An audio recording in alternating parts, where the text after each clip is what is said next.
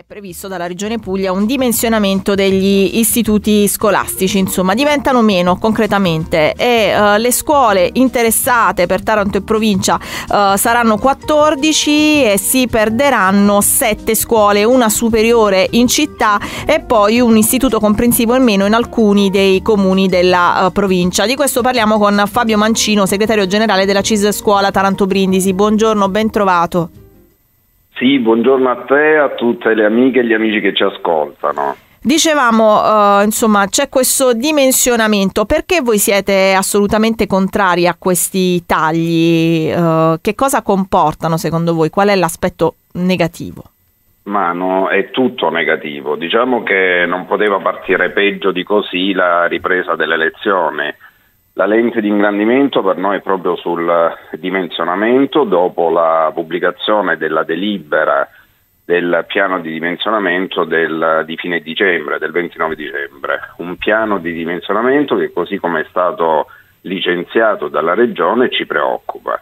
Guardate, nella provincia ionica assistiamo un po', dico io, ad una seconda mattanza come diversi anni fa quando il territorio era stato già interessato da un drastico decremento delle istituzioni scolastiche che hanno poi portato alla nascita di istituti con oltre 1800 alunni.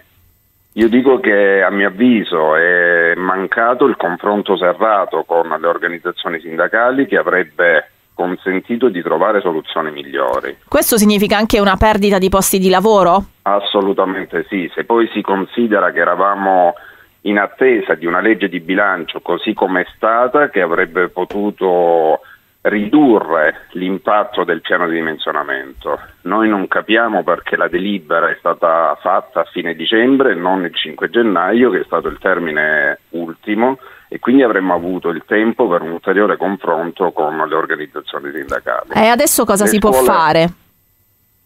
Adesso eh, non si può fare nulla perché la situazione è già, la delibera è già uscita, le scuole interessate sono 14, per Taranto ci sarà una riduzione di 7 scuole, una scuola secondaria di secondo grado e un istituto comprensivo per uh, ognuno dei diversi comuni, tra Castellaneta, Cristiano, Ginosa, Mottola, Palagiano e San Giorgio Ionico.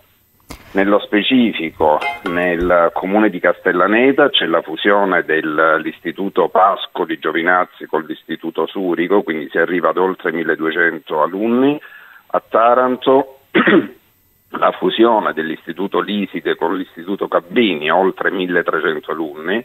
A Crispiano la fusione delle due istituzioni scolastiche comunali, Circolo Didattico Mancini e Istituto Comprensivo Severi, il comune di Ginosa, anche qui la fusione delle due istituzioni scolastiche, si arriva ad un unico istituto con oltre 1400 alunni, Istituto Comprensivo Deledda San Giovanni Bosco e Istituto Comprensivo Calò.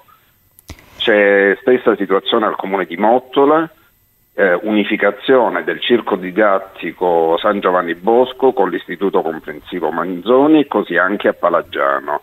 Ancora a San Giorgio Ionico la fusione delle due attuali istituzioni scolastiche, Istituto Comprensivo Pascoli con il circolo didattico Maria Pia. Dicevamo che insomma ieri... adesso non si può fare, diceva ieri, mi scusi, prego. Sì, solo ieri, a questione ormai conclusa, l'assessore ha convocato le organizzazioni sindacali a seguito mm. di un'ulteriore nostra altra richiesta. È stato un incontro relativo sempre al piano di dimensionamento, sottolineando, come se non lo sapessimo, la difficoltà dell'intera operazione, evidenziando che anche altri scenari in vista del prossimo anno scolastico. Guardate, il prossimo anno scolastico sarà dedicato in maniera preminente al dimensionamento del secondo ciclo. Ma concretamente questo fatto... si fa per andare a risparmiare, cioè sì, per, per, per, per intenderci. Sì, quindi da una parte diciamo che la, bisogna investire nella scuola e dall'altra creiamo dei quartieri a posto di delle scuole con 2000 alunni dentro, insomma mi sembra di aver intuito. Sì, la, per la della scuola la riorganizzazione della rete scolastica non può e non deve rispondere a queste logiche che sono solo logiche di risparmio e logiche numeriche, né può essere concepita la scuola come qualunque altra pubblica amministrazione perché non deve prescindere da quelle che sono le caratteristiche dei bisogni delle singole comunità e realtà territoriali.